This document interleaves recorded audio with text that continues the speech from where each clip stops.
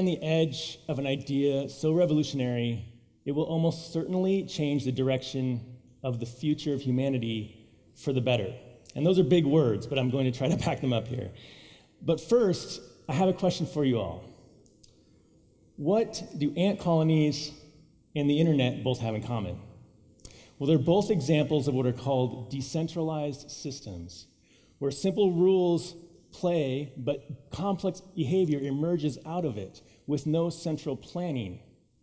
The study of this area is called systems theory, and it's important to understand the very basics for the, for the concept of this big idea I'll get to in a moment. So, if I can have 60 seconds of your time, we're all going to have a crash course on systems theory right now. Ready? So, systems are simply entities and the relationships made up between those entities. There are things called feedback loops, which is actually when the output flows back into the input of a system. And these are usually happen in a couple different ways. One of them is what's called a reinforcing feedback loop, uh, where something will grow exponentially. Uh, a common like situation or example would be something like a compound interest in your bank account. That's a system with a reinforcing feedback loop. Another type of feedback loop is called a balancing one, where it'll actually try to aim towards an equilibrium or a stable situation, regardless of inputs. Sometimes there are delays in these feedback loops, and these can cause problems, specifically what are called oscillations. Now, oscillations will spin out of control and often destroy a system. In fact, we'll see this um, a lot within the financial industry and whatnot. But what happens is that the actual system is trying to overcompensate for that oscillation happening and it spirals out of control. So we can see that there's kind of balances and checks that happen within systems that apply to all different things in our life. There are, in more complex systems, the concept of hierarchy. And hierarchy isn't necessarily a bad thing, but it can actually um, be used in a bad way. Um, hierarchy should always exist for the sake of the parts within it. Never does hierarchy exist for the sake of control or for that central authority. Many systems with deep hierarchy often believe that the parts exist to serve that central authority, when in fact, the opposite is true. So, balance and self organization and resilience are some of the reasons why these decentralized systems are so powerful. So, there, there's your 60 second crash course in the basics of systems theory. You all are now experts. Congratulations. So, what is an example of one of these decentralized systems that we might find in nature? Well, one of them are ant colonies that we mentioned earlier. See, ants are fascinating. They create these things called foraging trails, which are small, tiny highways across the land where ants shuffling back and forth trying to bring food back to the colony. What's interesting is that when an ant finds a piece of food, as it's coming back to the ant colony, it will leave a chemical called a pheromone. Now, since all ants are attracted to this pheromone chemical, ants leaving the colony to go find the food pick up on the scent and follow that same track down. And when they find the food, they'll leave their own pheromone trail back. This is an example of a reinforcing feedback loop. The more ants that find that trail, the more pheromones laid down, the more attraction that brings more ants on there, and the system builds. What's really fascinating about this is this kind of behavior allows colonies to actually solve very challenging problems together, like finding the shortest path between the colony and food.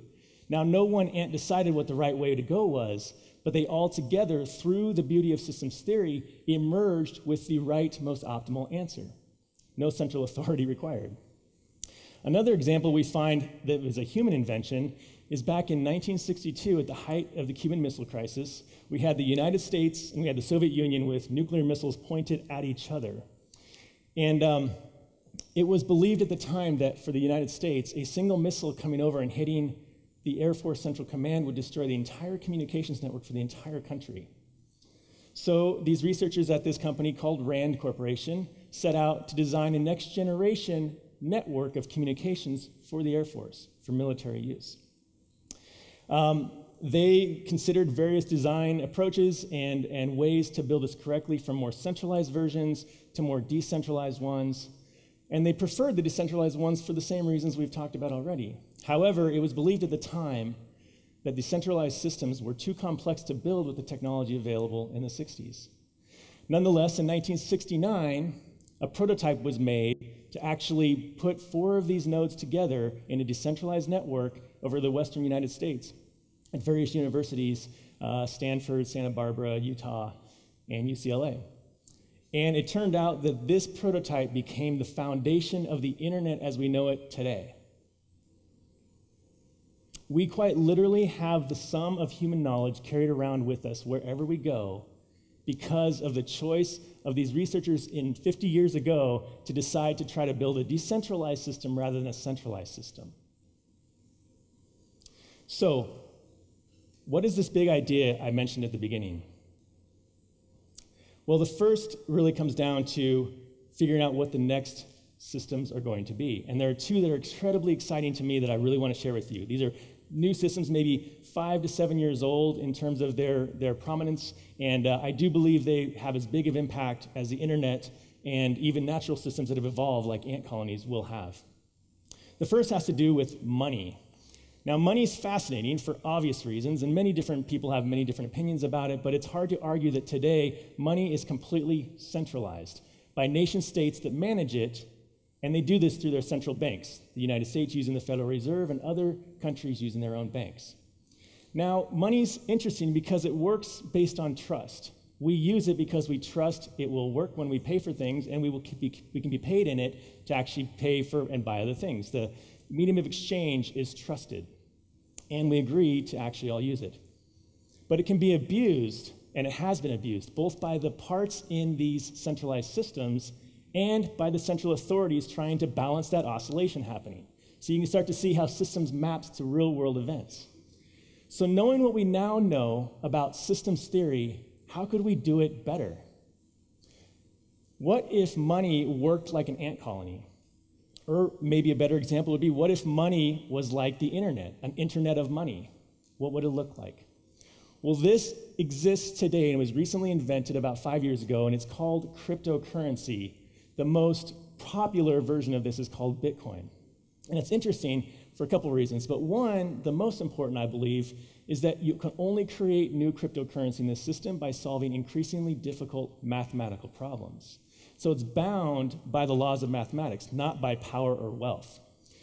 No matter how large or how powerful any entity in this system is, there is an example of a balancing feedback loop that will always try to ensure that the monetary supply and the monetary creation is balanced because of math, not because of influence or political prowess.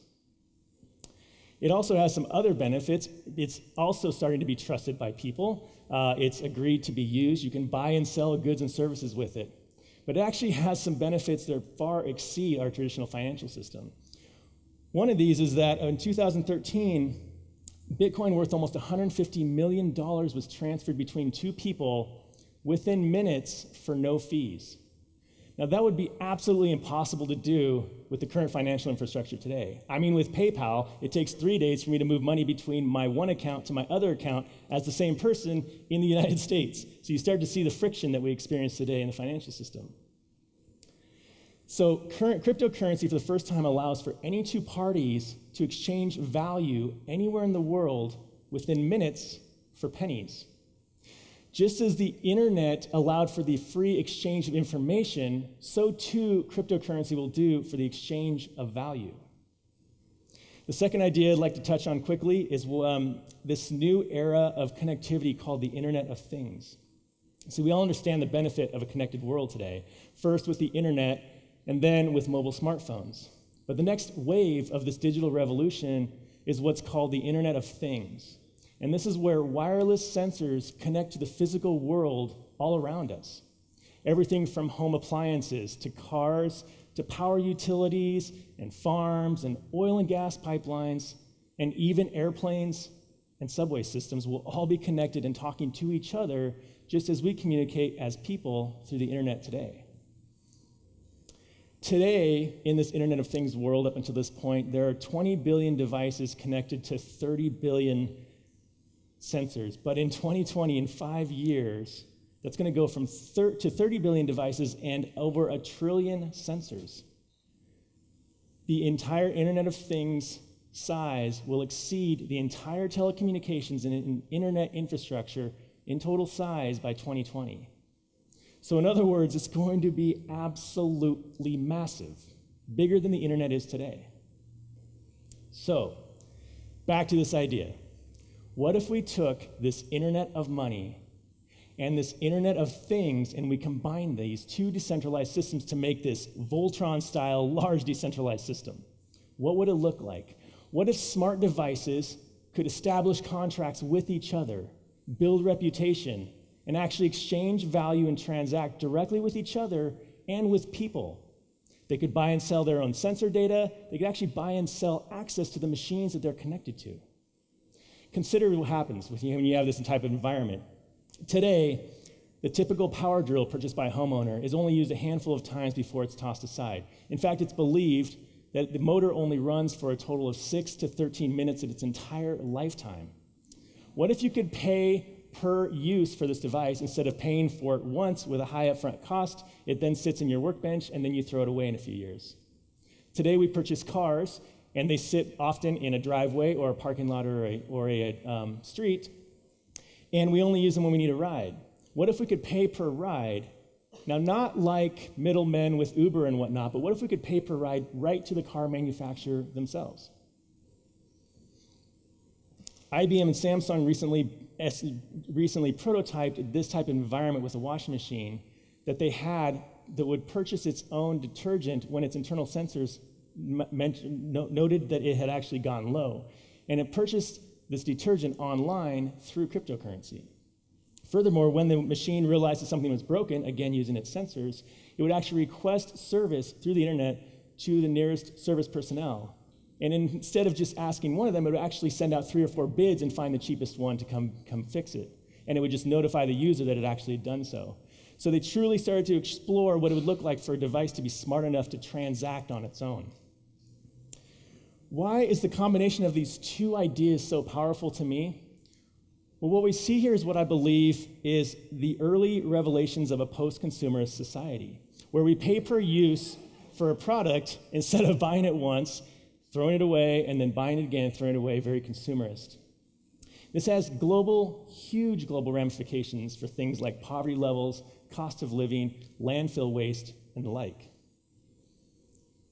It's not really a big stretch, though. Let's think about this. Today, we would buy DVDs and CDs to listen to songs and watch movies. But more and more, we're starting to actually pay small monthly fees for access to libraries of millions of songs and movies available whenever we want. When we pick this apart, what I think we find is that we don't really want to own DVDs and CDs. What we want is the experience that those movies or that music gives us whenever we want to experience it. So, building this foundation of this Internet of Things and this Internet of Money is what my colleagues and I spend our days and nights obsessing over.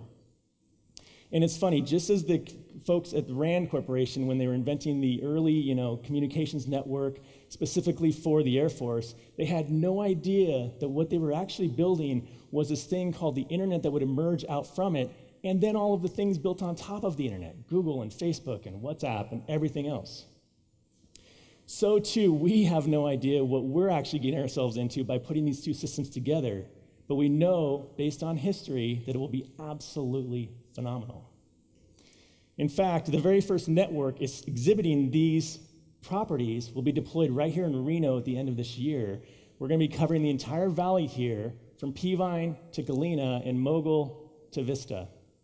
And I'm delighted to share that with the help from the city administration, the city of Reno will actually be the first testbed in the world to start leveraging this decentralized network to start to tie together their existing city services and make them more decentralized to talk to each other. So, the challenge here is really this decentralized systems are all around us. Look for them. Sometimes they can be tricky and hide. Just as the natural world and recent human inventions have shown us, these systems are balanced and beneficial not only for us as humans today, but they very well could change the direction of the human race for good. And we certainly would not want to miss that. Thank you so much.